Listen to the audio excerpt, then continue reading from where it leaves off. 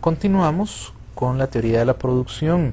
Ahora vamos a seguir preguntándonos diferentes aspectos acerca de nuestra fábrica de pupitres.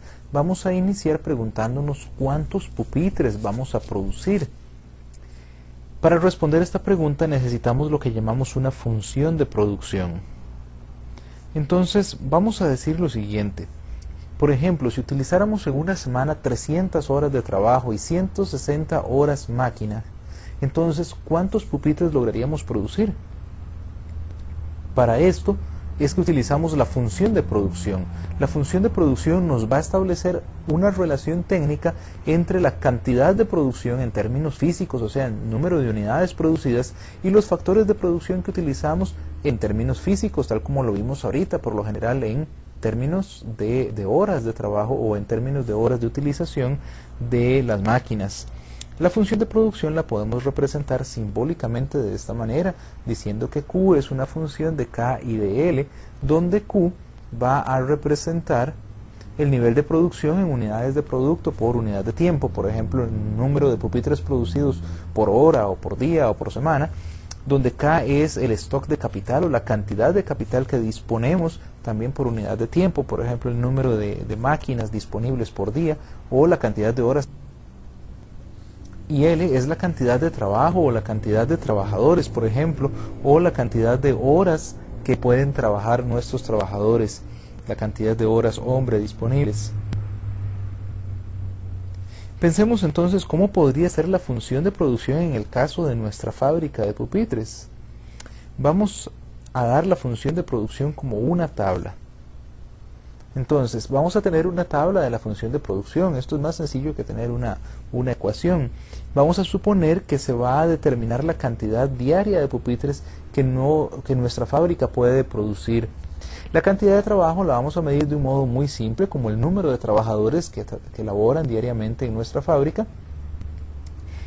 E igualmente, este, el número de máquinas, ¿verdad? Vamos a medirlo como el número de máquinas disponibles. Vamos a suponer que tenemos cuatro máquinas. Vamos a trabajar por ahora solamente a corto plazo, por lo cual el número de máquinas va a ser fijo, va a ser constante.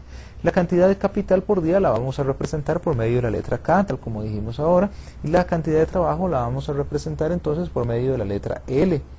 La cantidad total producida, que también le conocemos con el nombre de producto físico total o simplemente producto total, se representará por medio de la letra Q o como las siglas PFT. También vamos a, vamos a representar dos conceptos que luego vamos a definir que se llaman el producto físico marginal, que abreviaremos PFM, y el producto físico medio, que abreviaremos PFME.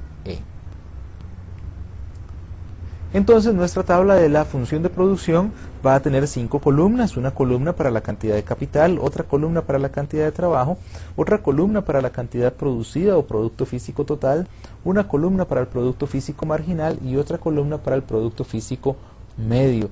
Vamos a empezar a completar nuestra función de producción poco a poco.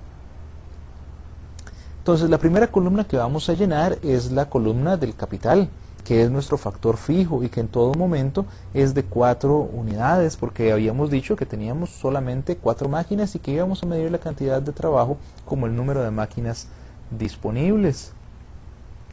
Ahora tenemos que hemos completado nuestra segunda columna, la columna L, que va a ser la que va a contener el número de trabajadores. Nosotros podríamos tener desde cero trabajadores, un trabajador, dos trabajadores, tres trabajadores, 4, 5, 6 trabajadores.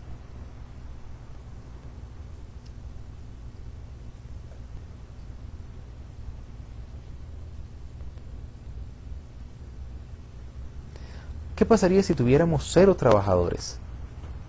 Bueno, obviamente la producción tendrá que ser cero.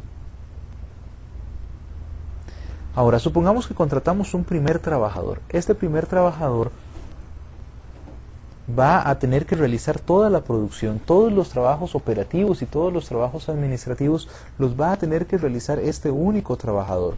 Su productividad probablemente va a ser muy baja. Vamos a suponer que logra producir solamente dos pupitres por día.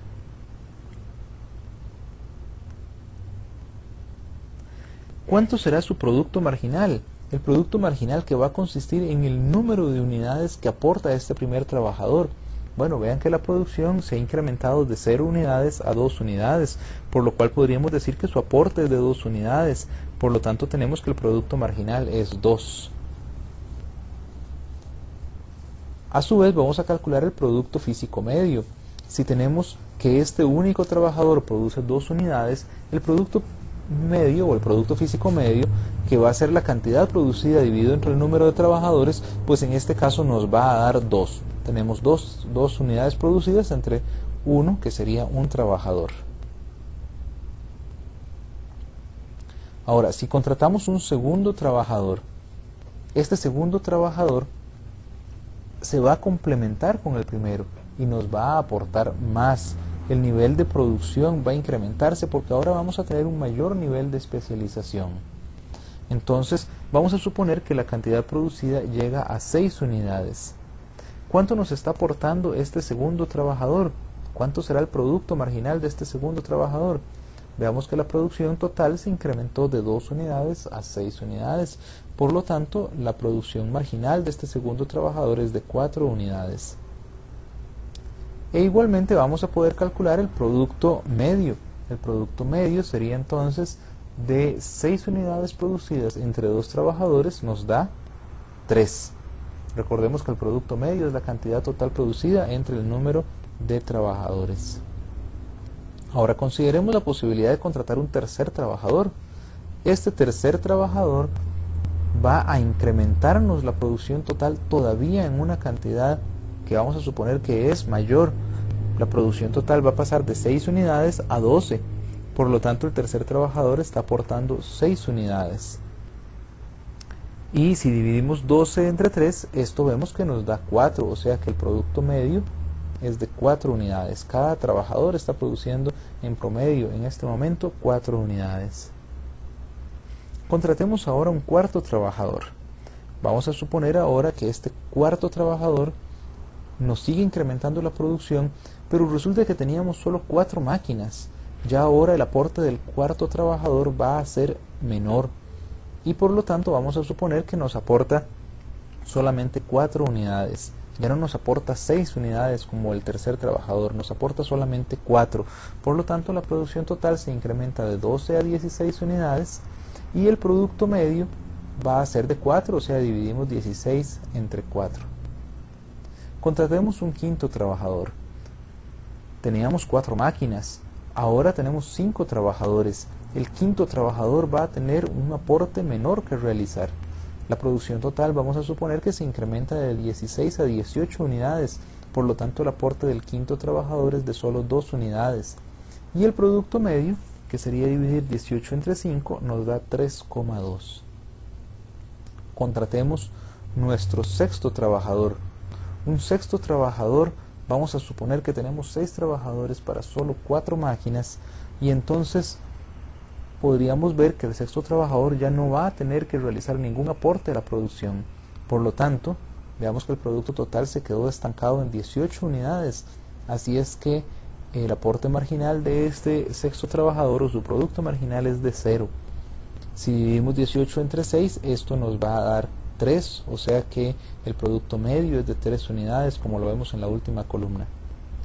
¿Qué pasaría si contratáramos un séptimo trabajador?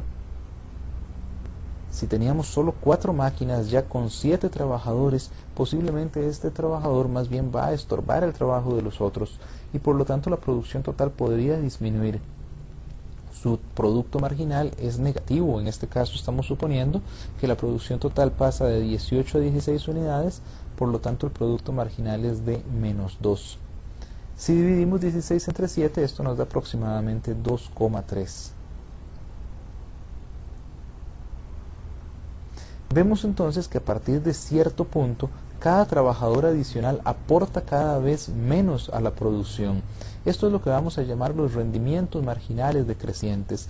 Consisten en que a partir de un determinado punto cada trabajador adicional va a realizar un aporte inferior al nivel de producción total.